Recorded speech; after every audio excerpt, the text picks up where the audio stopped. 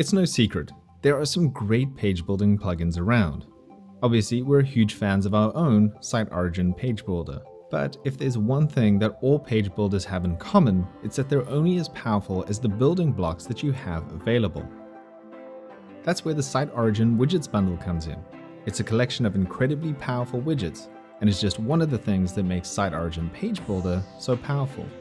Well now we've added compatibility with two other popular page builder plugins, Elementor and Beaver Builder. You'll have access to all the Widgets bundle widgets from right inside these plugins.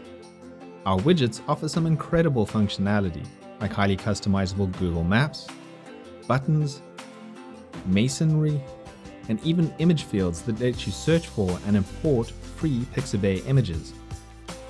Plus, there's a lot more for you to explore. These widgets are all available for free, and there are some great Widgets Bundle add-on plugins that introduce even more widgets.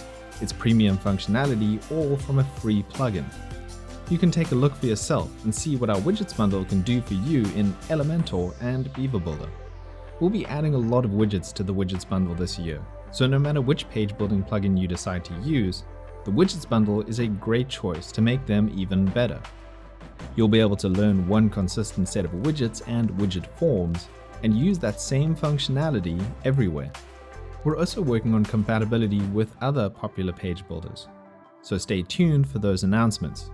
They're coming soon. I'm Greg from SiteOrigin. Happy building!